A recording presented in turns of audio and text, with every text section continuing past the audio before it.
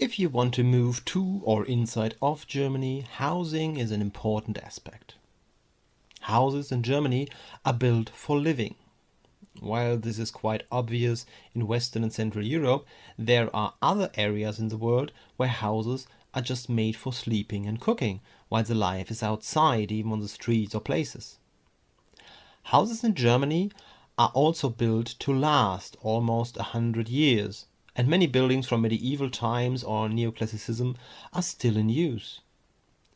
But even the kind of traditional houses and the kind they were built or roofed are different from federal state to federal state and even from county to county.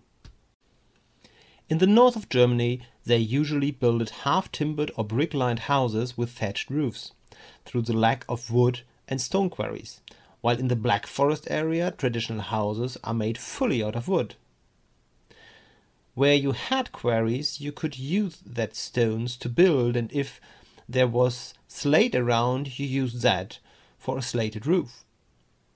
When houses were needed very fast, in the GDR many flats were made as Plattenbauten, building made with precast concrete slabs, while concrete was used in Germany typically for higher buildings and bridges. Houses were built with bricks and later specialized building stones like Poroton or gas concrete, what made it lighter and had a better insulation. Today, some houses are also prefabricated, what becomes more and more popular. And while most Germans like their space to live, some choose a tiny home. Only a few federal states have regulations how much space a human needs and where it is regulated, it is almost 9 square meters per adult and at least 6 square meters per child. Usually, the Germans have much bigger houses, so every family member could have its own room.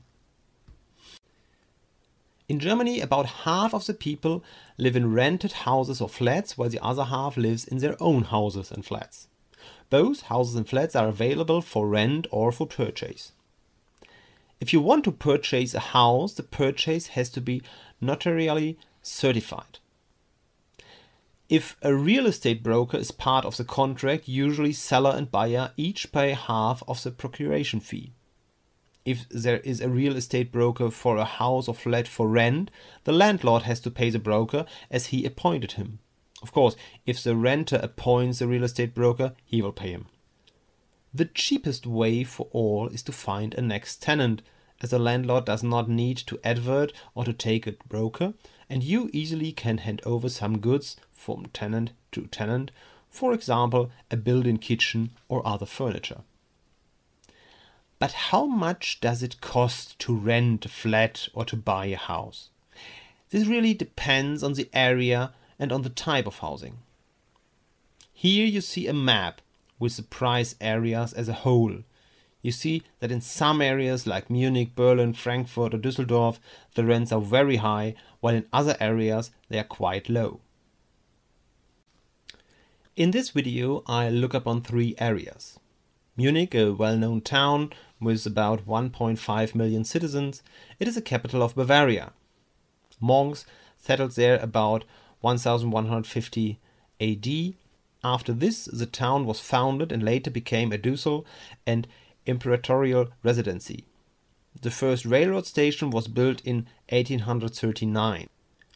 We have a U-Bahn or subway and a S-Bahn or streetcars, an international airport, an unemployment rate of 2.5% and universities. Aachen in North Rhine-Westphalia is a town of about 250,000 citizens next to the Dutch and Belgian border. People lived there since 2000 BC regularly. The Romans created a settlement 100 AD and later it became a royal residency. There is a railroad station since 1841. We have an S-Bahn, an international airport 30 kilometers away in the Netherlands, an unemployment rate of 6.8%, and several universities. And Salzwedel in Saxony Anhalt. It is a town with about 23,000 citizens and was near the inner German border. The city is famous for their Baumkuchen. People lived here since 1000 BC regularly, and the foundation is known since 1112 AD. There is a railroad station since 1870 and an unemployment rate of 6.5%. The next university is about 100 kilometers away in Magdeburg or about 150 kilometers away in Hamburg or Hanover. I looked upon three kinds of houses or flats. Flats for rent of about 40 square meters for a single or a couple. Houses for rent of about 100 square meters for a couple with one or two kids. Houses to buy of 120 square meters for a couple with one or several kids. I searched on the German website Immowelt, but there are other websites for flats and houses as well.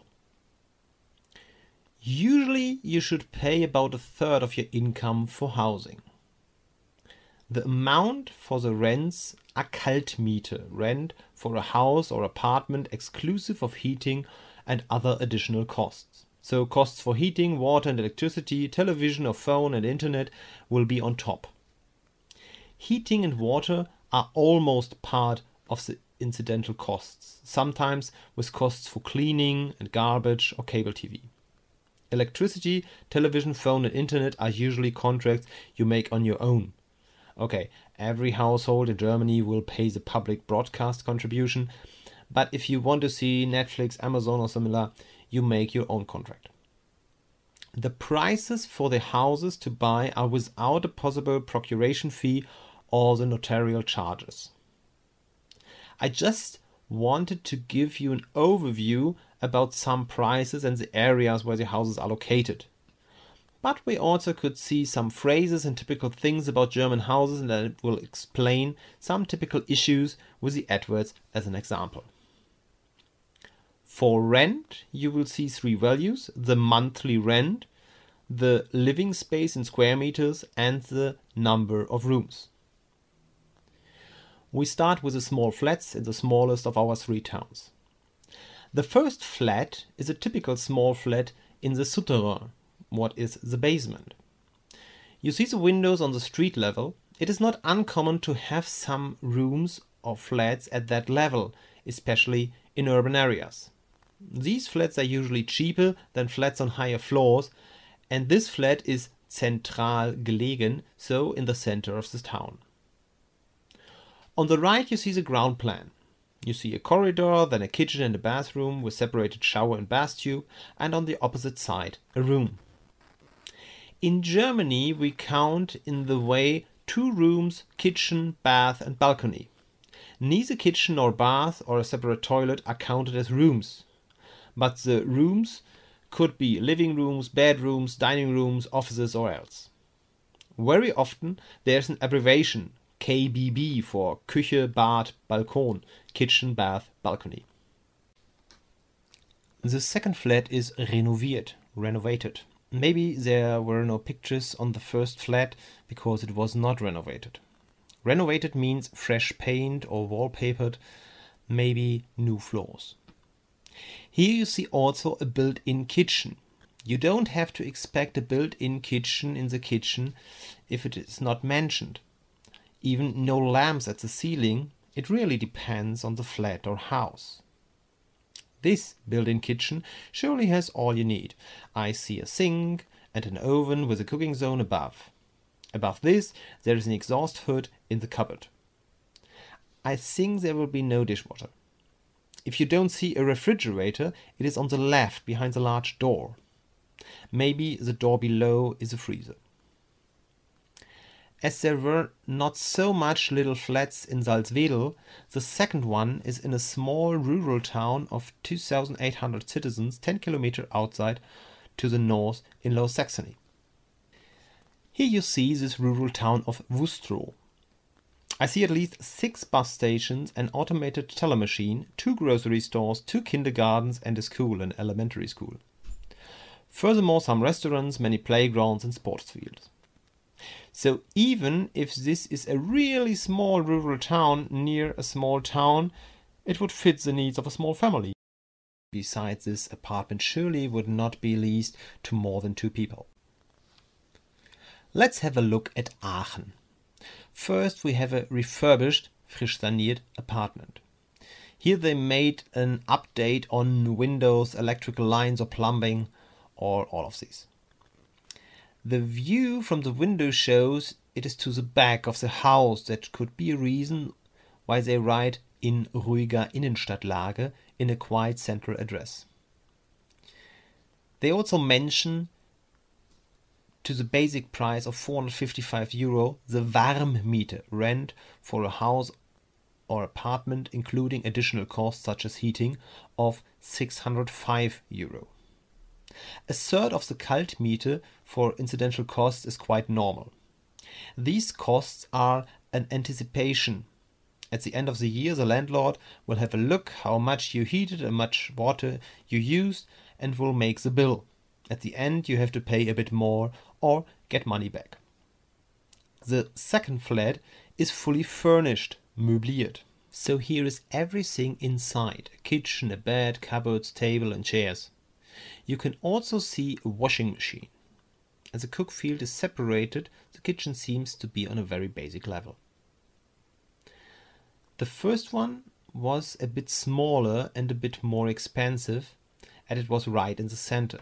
This one is in an urban quarter, but we have the address. So here you see the exact address and the bus station and two universities. This is right in the middle. I did not show the other places as it would be too much to see anything. You may see two restaurants to the north, probably one Greek and one Chinese restaurant, and you also could walk into the park to the grilling area in the west. Now we have a look at Munich. The first flat is in the urban quarter Obergiesing, about 5 kilometers away from the city center. This house seems to be made in the 70s or 80s. It is quite cheap for Munich.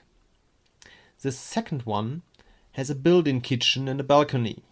You see the price for the Kaltmiete in Salzwedel was about 215 to 250 euro. In Aachen it was 370 to 450 euro. And here in Munich it is from 470 to 690 euro.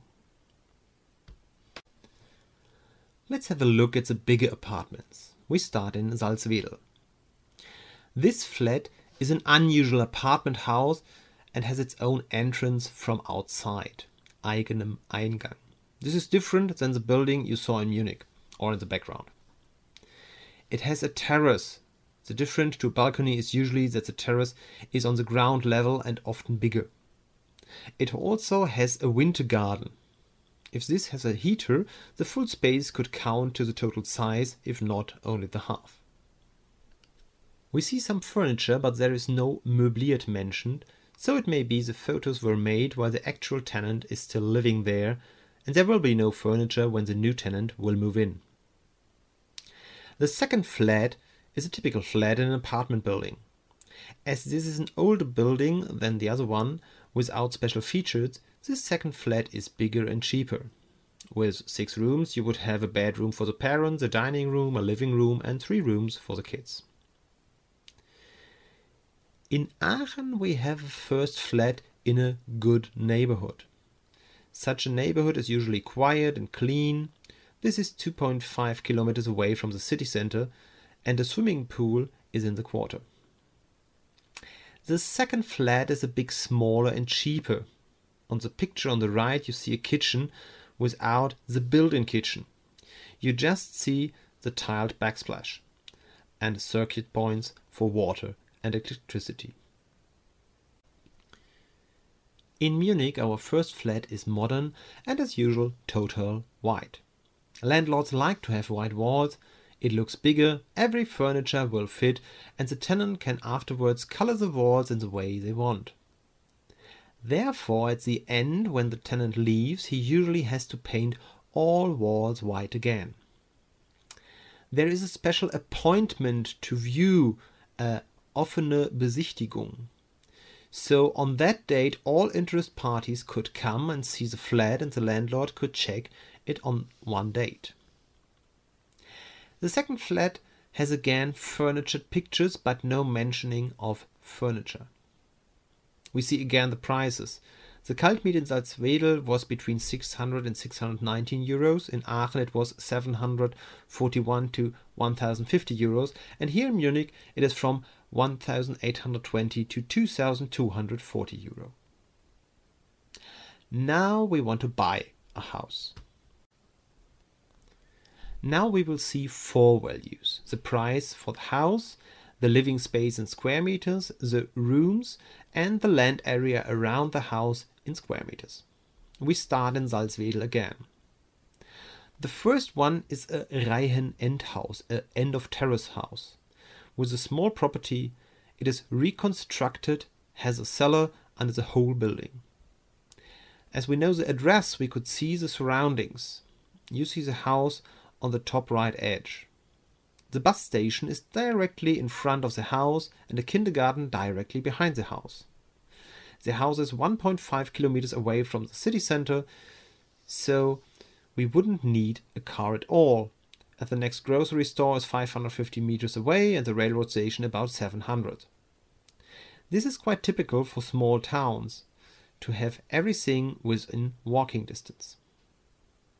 The second house is a bit cheaper and has a very big land area you see that the house is quite old. Maybe there lived an older person and the heirs want to sell the house. In the middle you see an old tiled stove. On the left I see a small device below the window that may be an electric heater, so it could be that there is no heating system. That may be a reason for the cheap price. On that size of land you easily could have some pets, maybe a horse. Let's have a look at Aachen. The first building is mentioned as a ein Zweifamilienhaus, a one or two family house. So there may be the possibility to live in one part and be a landlord for the second part. It has a double garage and an additional parking position. Ruhig gelegen means it is in a quiet area, probably a bit outside the city center. The second house is a small city house. It seems to be a mid-terrace house. The big window in the ground floor could have been a shop window. In the city centers, the house often had shops in the ground floor and flats in the upper floors. You can see on the other picture that the garden has a separate entrance to the street behind. We only know this house is in the quarter of Haaren.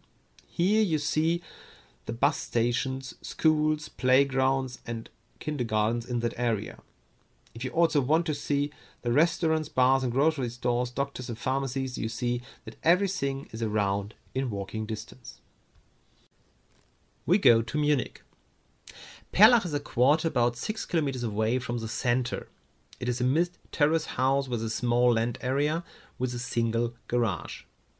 Bezugsfrei means vacant. Nobody is living here, so you can move in immediately.